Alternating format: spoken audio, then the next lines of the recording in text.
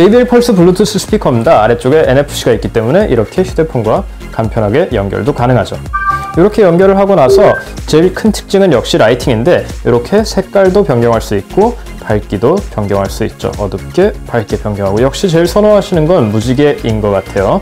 무지개 색깔이고 이렇게 가로로 놓아서 쓸 수도 있고 노래를 틀었을 때 이 여러 가지 모드 중에 이퀄라이저가 따라옵니다. 이퀄라이저가 노래를 틀었을 때 이렇게 노래에 맞춰서 플레이가 되기 때문에 굉장히 다양한 패턴으로 쓸 수도 있고 앱에 연결하시면 앱에서 직접 사용자가 편집도 할 수 있습니다.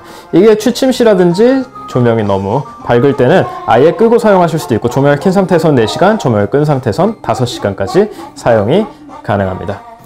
무엇보다 오디오 전문 기업 JBL 제품이기 때문에 음질이 블루투스 스피커 치고 좋은 편이고 무엇보다 음량이 굉장히 크게 올라갑니다. 이렇게까지 크게 음량이 올라가는 큰 소리를 가지고 있습니다. 뒤쪽에는 요 일반 휴대폰 micro USB 포트가 있기 때문에 충전도 쉽게 할 수 있고 무엇보다 소리가 꽤나 블루투스 스피커 치고 괜찮은 편이고 이 무드 등으로서도 충분할 정도의 조명이기 때문에 집에서 mood lighting으로 쓰셔도 참 좋을 것 같아요. JBL Pulse 블루투스 스피커였습니다.